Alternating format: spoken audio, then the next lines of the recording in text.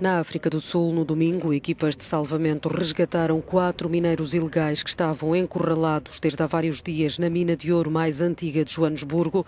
Estão ainda no interior da mina alguns mineiros. O grupo trabalhava ilegalmente numa mina que está desativada há vários anos, uma situação que não é inédita no país. A missão de resgate tem sido dificultada pelas condições difíceis e perigosas no subsolo.